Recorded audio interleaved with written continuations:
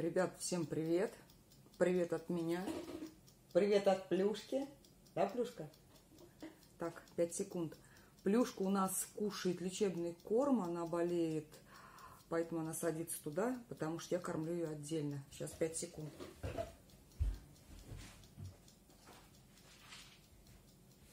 Кушай. Кушай, Плюша. Вот, не хочет она кушать, хочет, сейчас тут в съемках. А, в общем, вчера варила сыр кротен. Лазил в своих запасах э, всяких прибамбасов для изготовления сыра. Ну, кто занимается сыром, те знают, что у нас, наверное, процентов 60 всего добра, которое у нас хранится в кухонных шкафах, это всякие прибамбасы для сыра. Все, кто начинает э, заниматься, варить сыр дома, поначалу покупают э, всякой ерунды. В общем, мы как залезли на сайт, увидели какую-то форму, написано форма для камамберов, форма для качета, форма для того, для всего. В общем, мы верим информации, покупаем, и в итоге наша кухня превращается в огромный склад. Я, естественно, не профессионал, я даже не подмастерье, а, так скажем, бельевая вошь, живущая в белье подмастерье. Но у меня есть некоторый опыт уже, то, что мне понравилось, что не понравилось, ненужных и нужных покупок. В общем, я решила э, снять вам видео, может, э, кто-то только начинает этим заниматься. Я хочу вам рассказать, что мне понравилось, что мне не понравилось, э, что не стоит покупать, чем я пользуюсь. В общем, расскажу про формы, про термометры, про контейнеры для созревания сыра, про таймеры, про подложки. В общем, кому интересно, смотрите. Покупайте только нужное и не тратьте свои деньги, не совершайте моих ошибок. Ну что, поехали? С чего начнем? Начнем, наверное, с форм.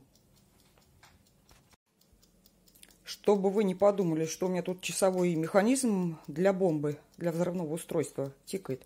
Это вот такой таймер. Я уже о нем говорила. Это механический таймер – он у меня здесь, я вот кротенчики проветриваю, чтобы время не терять. В общем, у нас будет на заднем плане тикать. Вот. Вот это у меня формы. И это не все. Это я, которые в нескольких, так скажем, экземплярах. Они остались в шкафу. Я вытащила по одному-два представителя данной формы. Так, сейчас подождите, в посудомойке мылись еще. Вчерашние вытащу потому что они мне нравятся, я должна, так слышно меня, я должна вам о них рассказать.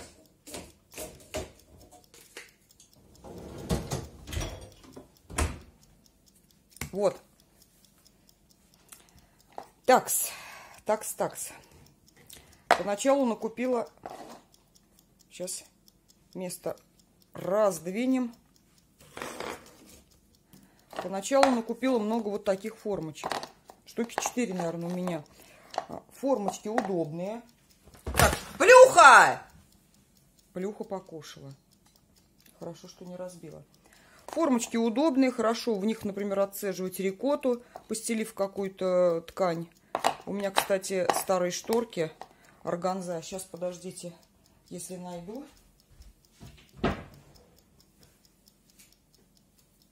Я здесь! Не теряйте меня. Копаюсь в своих запасах. Вот. Такие у меня были шторы. Это такая органза. Выкинуть жалко. Но я на, из них нашила вот таких мешочков. Они не воняют, в отличие от э, хлопковых тканей, когда в них сыворотка стекает. Вот. То есть такие примитивные мешки. Швом, естественно, наружу нужно делать, чтобы туда сырной массы не попадала. Такой длинненький отвешиваю. Вот такие есть тряпочки. Так, хочу предупредить. Край, край нужно опалить, потому что я первый раз делала, не опалила край. И когда стала вот эту сырковую массу вымешивать, у меня там какие-то длинные, я подумала, что волосы. Но я всегда занимаюсь приготовлением чего-то, особенно сыра в головном уборе, в платке плотно завязанном или в шапочке. В общем, я поняла, что вот отсюда вот такие тоненькие а, ниточки вылазят и попадают в сыр. Так что не совершайте моих ошибок. А так я вот, то есть, выстелила этой старой шторой. Не обязательно покупать новую. Простирали с белизной хорошенько на кипячение, ничего и не будет. В общем, вот такие формы. Есть у меня такие маленькие, есть у меня такие большие. Большая. Но, честно вам скажу, пользуюсь ими редко. Вот такие формы отлично подходят для адыгейского сыра. Здесь еще можно вот эту э, форму одну на одну ставить. И рисунок э, сырочка будет одинаковым, что сверху, что внутри. Очень красивенький. Но молока у меня мало, адыгейский сыр что-то я не варю. В общем, пока у меня эти вот, вот такой дуршлачок и вот это, эти штучки лежат в запасах. Я не знаю, стоит ли их покупать, не стоит. В общем, я не пользуюсь. Что мне нравится? Это форма для волансе. Так, тут у меня водичка какая-то. Формочки для волансе. Я купила 4 штуки. А, рассчитываю, что буду варить из 10 литров, но, как показала моя практика, 4 маловато. В зависимости от выхода сыра из молока, все-таки на 10 литров нужно покупать 5 форм. Формы очень качественные такие, плотные, мою все в посудомойке. То есть эти формы вот, советую. Вот такие квадратненькие формочки. Они, по-моему, российские. Я не помню, чьи, честно говоря. Они такие мягкие, из мягкой, такой мягкого пластика. Тоже мою их в посудомойке уже очень давно. Делаю в них рикоту. Можно рикоточку сделать. Так выложить тоже на прямоугольничком будет. Таким спрессованным. А потом можно запечь в духовке. Красивенькой формы. Делаю в них халуми потому что лепешечкой такой у меня не получается сделать, а почему-то у меня ломается.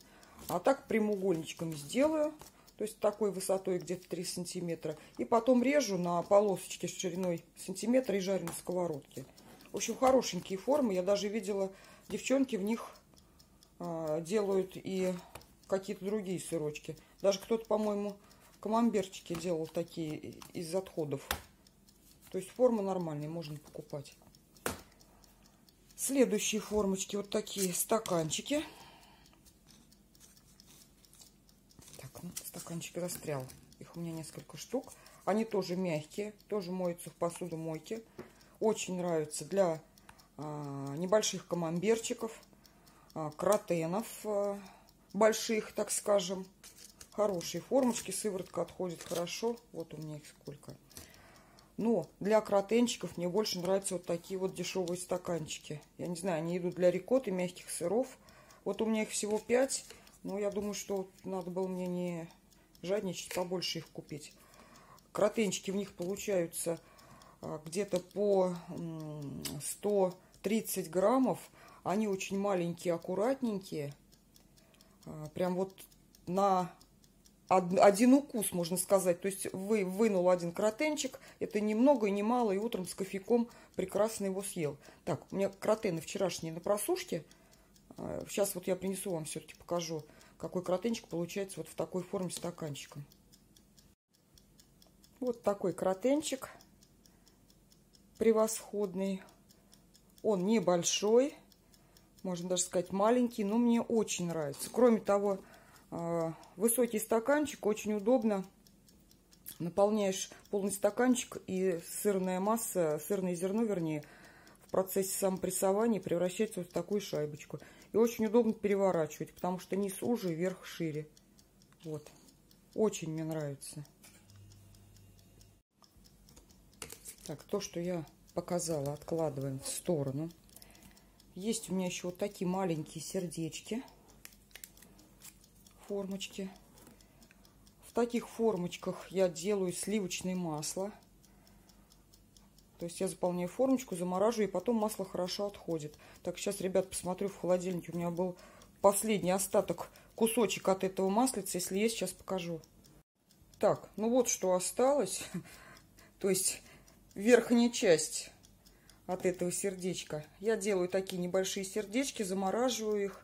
И вынимаю сердечко из морозилки, оно оттаивает в холодильнике и едим, чтобы весь кусок большой не валялся в холодильнике. Также я в этой формочке впервые попробовала сделать кротенчик по классическому варианту. У меня осталось немножко сырного зерна. А, форму было вроде бы уже лишнего заполнять, но я взяла, сделала. Вот такое сердечко с листочками василька. Маленький кротенчик. Такие формочки для камамбера. Диаметра 12 сантиметров. К ним я купила вкладыши. Очень нравятся эти формы. Во-первых, они на ножках. Хорошо отходит сыворотка. А во-вторых, то, что под него можно подобрать вкладыш. Здесь делаю и камамберы, и небольшие головки качут. Они получаются на 500-600 грамм. Сейчас еще. Так, сейчас еще. Ох, ох, ох, ох. Так, ну, очень удобно прессовать. Сюда входит литровая банка. Но вот пустой банки у меня нет. Вот с, мед, с медом банка покажу. То есть в качестве пресса можно использовать. Удобно по диаметру подходит. Наполняя банку разным количеством воды и взвешивая, можно регулировать, контролировать груз для прессовки. В общем, форма прекрасная. Можно покупать, подходит для всего. Следующая форма у меня также для качеты. Когда мне лень делать несколько головок в одну, бухнуть все. Вот такая она у меня тоже твердая. Купила такой же вкладыш сюда для прессовочки. Вот. И пользуюсь ей. В качестве груза я сюда использую, сейчас я вам покажу. Это такие блины от гантелек. Гантельки старые, они у меня завернуты в пищевую пленку. И вес 2 килограмма. То есть, если нужно прессовать, я вот это помещаю в пакетик и на вот этот вкладыш 2 килограмма укладываю. Следующая формочка вот такая прямоугольная. Так, надо вас, наверное, немножко приподнять. Прямоугольная, она тоже с вкладышем для прессовки. Мне в ней нравится делать брынзу, потому что а, головка получается брынзы прямоугольная. Хорошо сходит сыворотка, потому что брынза, она такая водянистая. Ее потом очень удобно резать на квадратике а, такой правильной, красивой формы, чтобы, например, в баночке с маслом или в рассоле хранить. Вот тоже понравилось. Есть у меня вот такая формочка с поршнем для прессовки сыра. А, два раза я ей пользовалась. Первый раз попробовал, мне не понравился, потому что вот тут что-то как-то края уголовки не очень были. Но это, наверное, я сама накосячила. Я поняла, что в этой форме нужно обязательно сырное зерно вкладывать с, в ткани дренажные. И тут вот мало отверстий. Сыворотка как-то сходит не очень активно. Вот, ну нормально. Ну, в общем, для твердого сыра тоже хорошо. Тем более я купила эту форму, что-то по скидке. Она такая твердая и вообще на 200 лет хватит. Так, все вам рассказала. Да, про форму все. Так, и выходит... А, что мне не понравилось? Пустая трата денег. Вот, когда-то на заре своего сыроделия, так скажем, я купила вот такие формы, которые были указаны как формы для камамбера, но они вот никчемные. Во-первых, для прессовки головка камамбера, она должна быть... Так, будильник прозвенел, мне нужно убирать кротена в холодильник. Продолжим. Продолжим. Так, ну будильник, выключайся. Вот, то есть для прессовки они не подходят, потому что сырная головка получается не высокой. Очень долго уйдет времени, если стоять там и по мере оседания подкладывать зерно. Ну, в общем, не знаю. Я не знаю, куда их использовать. Может, тут в качестве браслета. Вообще думал, может, в них сливочное масло можно формовать. Тоже вариант. Вот к ним были эти вот такие дренажные сетки для переворачивания. В общем, пока я ими не пользуюсь. Может быть, когда будет много молока, я их буду использовать для формовки масла, не знаю. В общем, смотрите, я, я бы такое сейчас не купила. О самодельных формочках. Вот такие я делала из стаканчиков для кофе. В них тоже можно делать каратенчики. Небольшие какие-то мягкие сырые волонцешки.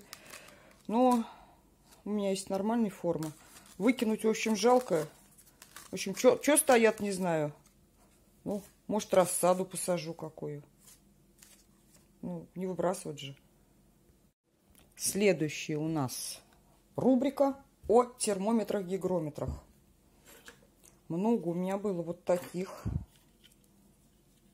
Есть еще с выносным датчиком, с проводочком. Как термометры они, может быть, и более-менее плюс-минус там 3 десятых, но влажность они врут. То есть они у меня куплены, вот лежат, не знаю где, может в сарае использовать или дома, или вот на веранду вынести, посмотреть температура какая. Но не покупайте. По влажности они врушки. Вот 41%, 31%. Вот видите, подлецы какие. Вот этот вот термометр-гигрометр из, так скажем, не супер-пупер дорогих. Четыре штуки я купила около тысячи стоило. Вот этот вот самый неврушка. И по температуре, и по влажности.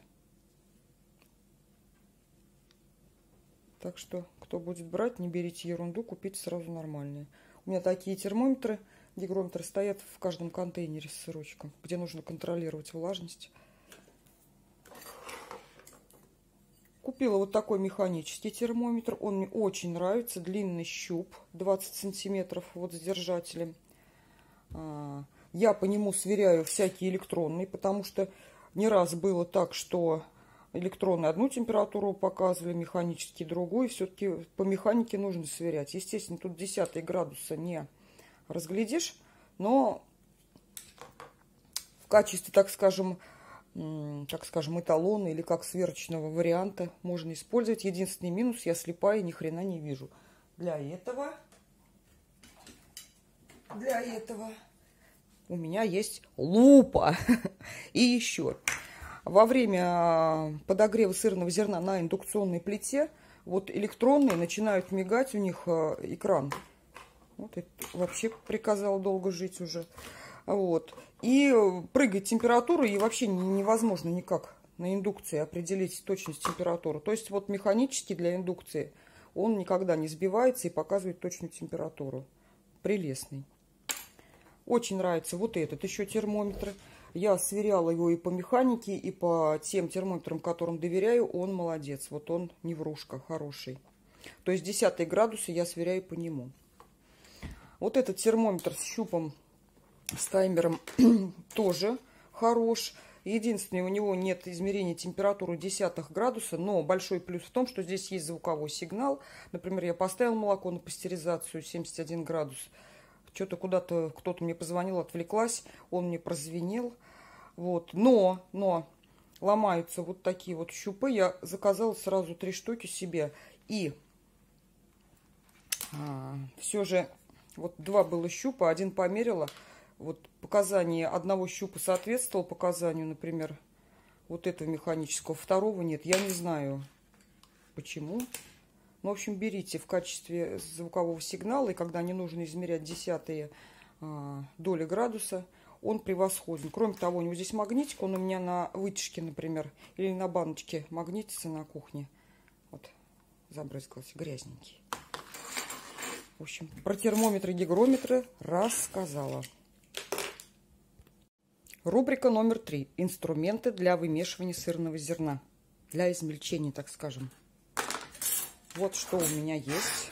Но ну, это знаменитая шампулира изобретение Марины Каманиной. Я ей пользуюсь. У меня есть лира от сыроварни, но мне ей неудобно пользоваться, не знаю. Вот дешево, сердито, удобно. Прекрасно. Тоже.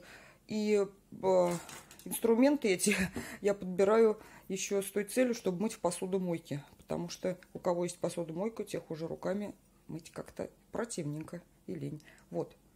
Хорошая вещь. Ну, у всех такие вот совочки, лопатки для вычерпывания сырного зерна. Вот эта штука у меня, она такая силиконовая, мягенькая. Она у меня только чисто на рикотту идет. У нее невысокая, неглубокая ручка, до дна кастрюли не достает. Но рикотту она прям превосходная, я и снимаю. Такая шумовка я купила в Эльдорадо. Долго искала шумовку с длинной ручкой, чтобы она до дна 10-литровой кастрюли, если высокой доставала. И у меня теперь 16-литровые кастрюли. Вот, купила тоже. Нравится мой в посудомойке. Хорошая шумовочка. Венчики для измельчения сырного зерна. Был у меня вот такой венчик мой, столетний, даже не знаю, сколько ему лет. Какой-то дешевый где-то покупала.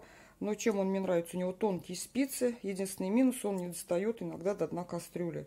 Купила себе вот такой вот 600 с чем-то рублей. Такой большой, длинный. Он 50 или 60 сантиметров. Но не обратила внимания. Так, там, по-моему, было описание, что толщина спиц 2 миллиметра. Но когда он пришел, оказались вот такие вот толстенные, это не спицы, я даже не знаю, канаты. Сырное зерно, а, этот венчик мнет, превращает в труху. Я даже не знаю, для чего его использовать. Если только это защищаться, в машину положить в качестве биты или в качестве музыкального инструмента. Ну, в общем, когда будете выбирать, смотрите на толщину спиц. Не берите с толстыми спицами. Так, по инструментам все. Ну, а это у меня тут в кучке лежит отдельный. Это нож, которым я сырное зерно режу. Больше ничего я им не режу. У меня хранится отдельно. Следующая рубрика. Весы, ложки, эм, тара для хранения заквасок. Изначально у меня были вот такие весы. Они мне нравились, они новые. Даже вот видите, коробочка есть. Единственный минус то, что они до тысячных грамма не взвешивают. А так как я пошла учиться на белую плесень в школу с родили Марин Каманной, взвешивать плесень не стало. Я на них не смогла. Поэтому, поэтому, кто начинает, не жадничайте, покупайте сразу вот такие вот высокоточные весы. Взвешивает очень хорошо. Классные. Покупала на Озоне. Две с чем-то тысячи стоили ложечки. Ложечки хранятся в баночке, потому что я их после использования обрабатываю кипятком. Такие металлические мне нравятся. Такие, но, так скажем, больше я пользуюсь, потому что я промышленными масштабами такими не варю сыр. Чаще пользуюсь такими вот маленькими ложками, где 1,64, 1,32. Ну, а большие ложки идут у меня для например, засыпки кальция. В общем, плохо, что они продаются вот, эм, так скажем, не набором, а по одному предмету. Вот таких бы маленьких ложечек я купила побольше. Есть у меня пластиковые ложечки такие на 1,64. Они у меня хранятся вместе с закваской в баночке, в морозилке, чтобы то есть туда никакие другие бактерии не садились. Лежит она у меня в баночке в определенной закваске, там и лежит. к этим весам шла, шла вот такая штучка. Ой, носик отвалился. Для взвешивания очень удобно брать. Вот. Тоже рекомендую. Еще у меня есть калькулятор. Так, как э, закваски с математикой у меня совсем совсем-совсем плохо. 2 плюс 2, наверное, я сложу, дальше не смогу. У меня калькулятор, чтобы рассчитать норму внесения закваски, плесени. Это все, все у меня лежит в таком сырном ящичке. Так, опять же, для хранения заквасок, плесени других культур в стерильной упаковке я покупаю баночки в аптеке для ТБО, твердых бытовых отходов человека. Вот, отрезаю вот эту у них там эту палочку, чтобы покороче была, она в закваску не макалась, не мешалась. Вот. В фикс-прайсе покупаю такие наклейки для рассады огородные. Они прекрасно клеятся, очень хорошо держатся на баночке. Подписываю название закваски, а, дозировку на литр или 10 литров молока, кто на каком объеме варит. И срок годности закваски, чтобы контролировать. И очень удобно. Такс. Об этом, по-моему, все. Следующее. О контейнерах то есть э, контейнер для, для созревания сыра, о дренажах. В общем, прикупила я себе изначально вот такие контейнеры высокие. Они с крышкой, как бы удобно. Но холодильник не резиновый. И для холодильника более удобная форма. Не глубокая, но все-таки высокая, чтобы сыр имел возможность дышать. Также с крышкой. И желательно покупать а, форму для экономии пространства, для облегчения своей работы, чтобы эта форма вмещалась по ширине и глубине холодильника. Есть у меня одна такая, ну не совсем такая, она не совсем подходит для полки, но более-менее она меня устраивает. Если делается большой объем сыра, например, сыров с плесенью, очень удобно. Вынул одну форму из холодильника, чем там 5 маленьких. Также удобнее экономить те же гигрометры, то есть в одну форму поставил и контролирую влажность. Так, какая? То есть берите форму, а, не форму, а контейнер по ширине полки, то есть у кого-то холодильник на 50-60 сантиметров, где-то хотя бы там 40 на, ну, на 40. Лучше 50 на 40. Ну, таких форм я не находила. Вот единственная та более-менее подходит, в которой у меня сейчас были кротены. То есть вот эта форма как бы не нужна. Ну, можно использовать ее для, не знаю для чего, для хранения чего-то. Дренаж для сыра очень важен, для того, чтобы сыр у нас дышал внизу. Я покупала много, такие я тут отрезала, вот такие подносики. Они продаются на Озоне, везде они продаются. Стоят они недешево, около 500 рублей. Вот такие сетки раковину я покупала, тоже вот резала их. Но что неудобно – а, вот их приходится, например, в контейнер под форму контейнера подгонять и обрезать. Это у меня на другой контейнер, на другой ширине. И как бы вот, чтобы обрезать и скромсать вот такой подносик за 500 рублей жалко. Ну ладно, подносик у меня использую, я пельмени на нем выкладываю для заморозки. Тоже он пригодился. Мукой посыпаю, заморозила, в пакетик пересыпала. Вот. Я нашла другое решение. Увидела это у, так скажем, опытных сыроделов, которым, естественно, мы доверяем, у которым учимся. Это я увидела у Марины Каманиной. То есть вот такие решеточки для, а, как ее называют, для газона, для, не для газона, я не знаю, для чего они. То есть, ну, я купила не дешевый вариант, который, хотя девчонки говорят, что пользуются в светофоре, продают. Я не помню, сколько, вот на один квадратный метр около 800 что рублей это стоило. Они прекрасно вот ломаются, можно под разную отломить под разные контейнеры себе сделать дренажик. Можно два поставить. Если вы боитесь, что это пластик не пищевой, а, он не вонючий, предварительно я его отмыла, отмыла хозяйственным мылом, даже в посудомойке мою, он не плавится, не деформируется, запаха абсолютно никакого нет. Сыр у меня на нем лежит, вызревает, я вам покажу. Ну, а кто э, как бы все-таки считает, что это не совсем годится, можно, в принципе, наверх положить либо вот такую сеточку, либо вот так. Вот. Но очень экономный вариант, превосходный.